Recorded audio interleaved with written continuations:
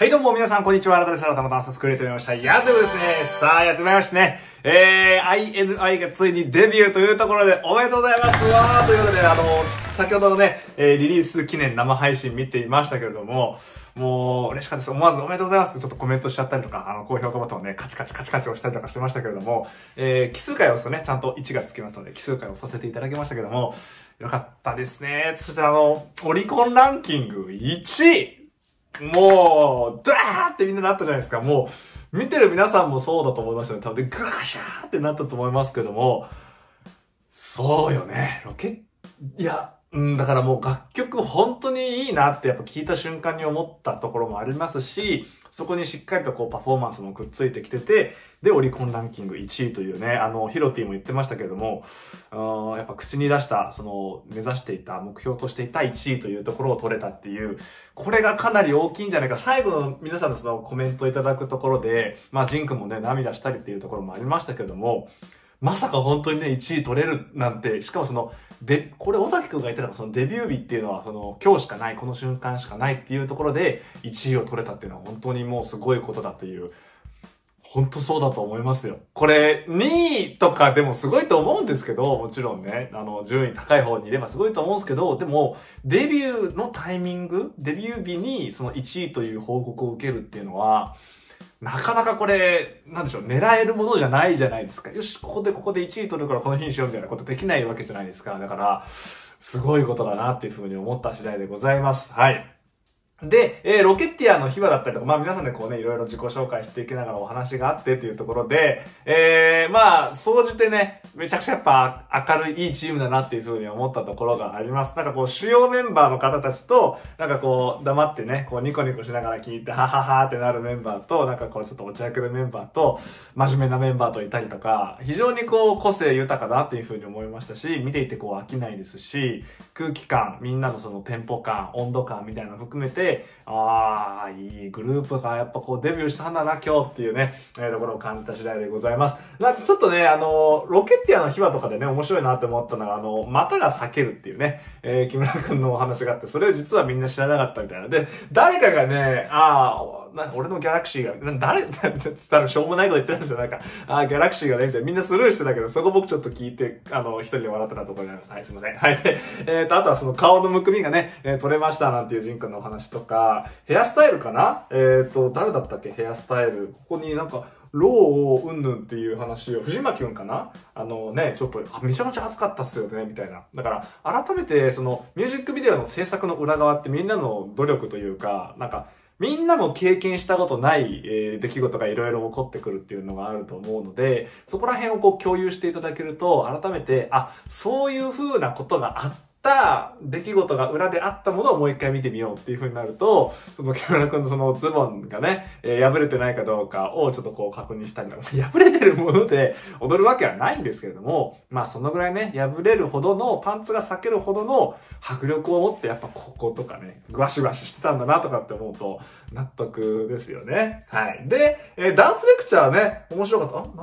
あ、770万回？え、なんだ？あー、770万回再生というところですね。で、ダンスレクチャーでまさかのここをやるっていうその、イノシシムーブ。いや、これ見たときに、そこレクチャーするみたいな。なんか、み、まあ、確かにね、ここ、ロケットランチの部分は、まあ、皆さんできますよね。だけど、いや、イノシシムーブ、なんか、いや、目線がダンサーだな、みたいな。そこい、なんか、ダンスやったことない人がここをやるって結構大変じゃないとか思いつつ、そこも面白さがあったかなっていうふうになりますね。で、まあ、うまいことその、イノシシが憑依する西くん。いや、だからね、西くん、えー、リヒティ、タケル、えー、っと、佐野くん、なんかこのあたりの方たちが、やっぱり積極的にぐいぐいふざけていくじゃないですか。で、えっ、ー、と、ジン君がこう、もうどんどんどんどんね、マンネラインとしてぐいぐい入っていくところもそうですし、なんか藤巻君のちょっとこう、冷徹な感じと、だからフェンファン、フェンファン君はもうね、まっすぐよね。まっすぐ情熱的に、やっぱ中国の方だからこそ出てくるフィーリングみたいなのもあると思うので、そこのノリの面白さもあるんですよね。で、えっ、ー、と、尾崎君とか、えっ、ー、と、まあ、キムリンもね、みんなに合わせなら、まあ様子見ながら、その、ふざけるとこ乗ったり、締めるとこ締めたりっていう、まあ MC もやってたってとこもあるんですけども、で、そこに、こう、尾崎くんが、こう、うまくスコーンってね、まあまっすぐ入ってきながら、ふざけながらっていう感じ。意外と田島くんがね、真面目だったりするっていう、その喋りとか見ててもそうですけど、そのバランスですよね、みんなのね。で、なんだろうな、ヒロムくん結構じっくり聞いてない？じっくり聞いてる系多分、イッチ、ヒロム、えー、っと、藤間くん、うーん、田島くん？フェンファン君このあたりの方たちが割とじっくり聞いてるかな、みたいな風に思って、割とこう、ボケ担当が多いグループなので、見ていて面白い。ちゃんと突っ込む側とボケる側が、えバランスよく配置されてるなっていう風に思ったところもありましたかね。なんで話してたんだっけ？と、はいイノシシがね、憑依するって、ブーンって部分で、もう西君がゴリゴリに笑っちゃう感じとか、やっぱ、うまいですね、西くん。うん、面白いし、陽キャだし、てか、全体的に陽キャ。ウェーイってなる、あの感じ。その、面白いことが起こると、今の面白くないってなって、みんなでわーってなって、とりあえず跳ねる、わーってなるは、まあ、男子あるある。まあ女性でも全然あると思うんですけど、まあ男子特有のノリみたいなのは多分ね、あると思うんですよ。それがここまで、こう、デビュー記念の生放送ですよね。で、イベントとしてちゃんとこう出てくるっていうのは、やっぱ魅力の一つだなっていうふうに思いますね。こんなにね、フランクなチームもなかなかないというか、デビューで。で、そこの貫禄出してるのはね、やっぱね、西君だと思うのよ。西君がだいぶこう引っ張ってってくれてて、そこに対するみんなの絶大な信頼みたいなところがある。で、やっぱ関西出身の大崎君、竹る、えっ、ー、と、佐野君かな。この3人のそのバランスっていうのが、えっ、ー、と、何は、何は男子たちですよね。だから、そのノリツッコミとかボケっていうのと、だから西君関西の人じゃないのに、そこら辺のバランス感覚すごいなとかって思ったりとかしてて、だからね、バランスいいんすよね、なんかね。ずっと聞いてられる。なんならね、なんだろう、ラジオとかやってほしいですね。INI のもうチャンネルというか、自分たちの放送局みたいな感じで、ラジオ配信とかしたら、まあ忙しいと思うんですけど、めちゃくちゃ面白いと思います。Vlog で残すのもいいんですけど、ラジオっていうのもね、ありかな。はい。で、えー、っと、えっ、ー、と、ホッハかな えっと、なんだっけ、ホッハか。で、ここで潰しますみたいな。ほとはどっちから先潰すみたいなね。しょうもないっすよね、ほんとね。いや、いいなっていうふうに思いましたね。ヒロムくんのホッハが可愛かったりとか、えっと、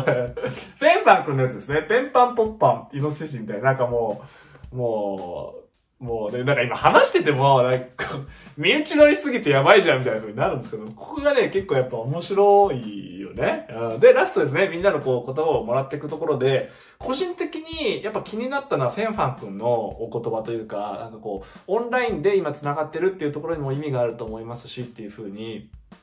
これガルプラ見てても思ったんですけど、中国のメンバーの方たちって結構言うことが、なんかすごい俯瞰していきなりその人生とはとか運命とはみたいなところでお話しする方結構多いなっていうふうに思ったんですよ。うん考え方の特徴になるのかもしれないんですけれども、えっ、と、情に熱いというかパッションで本当に、えー、その人と向き合うとかその出来事と向き合おうとするっていうその姿勢みたいなところをひしひしと感じるんですよね、熱い部分。で、そこがフェンファン君の言葉でもあって、ぐっときましたね。なんか、あ、その通りだなっていうふうに思うし、なんか、今こうしてオンラインで僕たちがこう、コミュニケーション、僕たちで、まあ僕見てる立場でありますけども、視聴者として見ていく中でのメンバーの方たちとのこの間接的なやりとりっていうところが、うーん、割とコロナっていうところで悲観されがちなんですけど、そこではなく、うん、ちゃんと前向きに捉えていこうっていうところを発信されていて、まあ、ホッハも全力でやってらっしゃいましたけど、ここやっぱ大事だなってね、ちょっと学びというか僕の中で今日ね、結構大きかったなっていうふうに思います。で、えー、みんなの言葉を聞いてる中でやっぱり、まあ今日という日をね、迎えるのが緊張してましたとか怖かったですっていうところに、えー、等身大の意見みたいなところ、声っていうのをすごく感じて、うん、その通りですよね、やっぱりね。デビューを迎えるっていうところにあたって、今まで一般人だった方たちがデビューするって、もうとんでもないことじゃないですか。人生の大きな転換点になるわけなので、うん、ファンの方たち、視聴者としてはすごく嬉しい部分ではありますけれども、やっぱ当事者としては、そりゃドキドキするよねと。もう見たことのない景色が始まるわけじゃないですか。行ったことのない境地にこれから行くっていうところの不安で、まあ、ジン君がちょっと涙するみたいなところもありましたけど、緊張がね、多分ちょっとほぐれたところで涙が出たのかなというのは思いますけど、でもみんなもちょっと喋ってる中で、なんかこう、考えながら、でも、ろれつが綺麗に回って話してる人ってそんなにいなかったじゃないですか。ちょっとこう、だから緊張感伝わってくるというか、改めて、え、このチームが生まれたんだなっていう、今日から始まったんだなっていうところをみんなの言葉一つ一つから、えー、聞き取ることができたなっていうふうに思いますね。本当にね、いいチーム、こんなになんか楽しく見れて、なんか期待できて、人間味のところですごく好きになれるチームだなっていうふうに思って、嬉しかったですね。うん。このチームがデビューしたのかっていうところなので、ぜひね、皆さんのコメントなどでも、あの、皆さんの喜びの言葉だったりとかね、いただけたらなっていうふうに思っております。もう本当におめでとうございます。オリコン1位も演技が良すぎるので、これからね、もう、ぶっ飛ばしてきて、ぶっ飛ばして、もう、突き抜けていってほしいですね。俺たちのアジトをしていただいて、アジト、アジト、お。イノシシダンスもね、ぜひやっていただいて、え皆さんもね、ぜひダンスを始めていただけたらなというふうに思ってますので、よろしくお願いします。えー、リクエストや質問のありましたら、下の方からお願いします。チャンネル登録もまだの方は、ぜひチャンネル登録の方もよろしくお願いいたします。それじゃあまたお会いしましょう。ありがとうございました。よいしょ。つい。